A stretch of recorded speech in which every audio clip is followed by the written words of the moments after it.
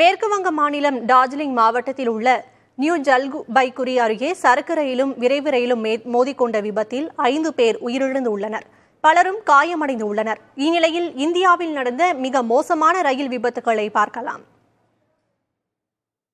ஆயிரத்து தொள்ளாயிரத்து அறுபத்தி நான்கில் ராமேஸ்வரம் பகுதியில் வீசிய புயலால் பாம்பன் பாலம் அடித்துச் செல்லப்பட்டதில் அதன் மீது சென்று கொண்டிருந்த பயணிகள் ரயில் கடலில் விழுந்து சுமார் நூற்றி இருபது பேர் உயிரிழந்தனர்.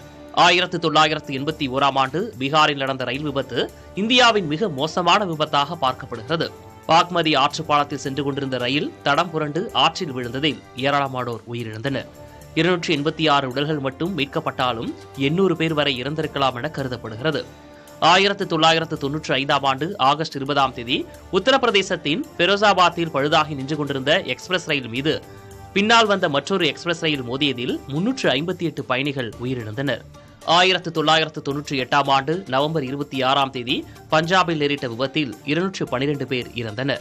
தடம் புரண்டு நின்ற ரயில் மீது விரைவு ரயில் மோதியதால் இந்த விபத்து நிகழ்ந்தது. ஆயிரத்து தொள்ளாயிரத்து தொன்னூற்றி ஒன்பதாம் ஆண்டு ஆகஸ்ட் இரண்டாம் தேதி மேற்கு வங்கத்தின் பிரம்மபுத்திரா மெயிலும் அவத் அசாம் எக்ஸ்பிரஸ் ரயிலும் நேருக்கு நேர் மோதியதில் சுமார் முன்னூறு பயணிகள் உயிரிழந்தனர். இரண்டாயிரத்து இரண்டாம் ஆண்டு செப்டம்பரில் பீகார் மாநிலத்தில் தாவி நதி அருகே ஹவுரா ராஜஸ்தானை விரைவு ரயில் தடம் புரண்ட விபத்தில் சுமார் நூற்று முப்பது பேர் உயிரிழந்ததாக ரயில்வே தெரிவித்தது. இரண்டாயிரத்து பத்தாம் ஆண்டு மே மாதம் மேற்கு வங்கத்தில் சரக்கு ரயிலும் விரைவு ரயிலும் மோதிக்கொண்ட விபத்தில் நூற்று நாற்பத்தி எட்டு பயணிகள் உயிரிழந்தனர்.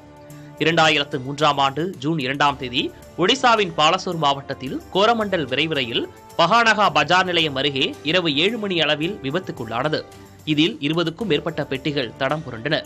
இந்த விபத்தில் இருநூற்று தொன்னூற்று ஆறு பேர் உயிரிழந்தனர். ஆயிரத்திற்கும் அதிகமானோர் காயமடைந்தனர். இரண்டாயிரத்தி இருபத்தி மூன்றாம் ஆண்டு அக்டோபர் இருபத்தி ஒன்பதாம் தேதி ஆந்திர பிரதேச மாநிலம் விஜயநகரம் மாவட்டத்தில் கொத்தவலசா சந்திப்பு ரயில் நிலையம் அருகே விசாகப்பட்டினம் பலாசா பயணிகள் ரயில் மோதியதில் விசாகப்பட்டினம் ராயக்கடா பயணிகள் ரயில் தடம் புரண்டது. பதினான்கு பேர் உயிரிழந்தனர் ஐம்பது பேர் காயமடைந்தனர்.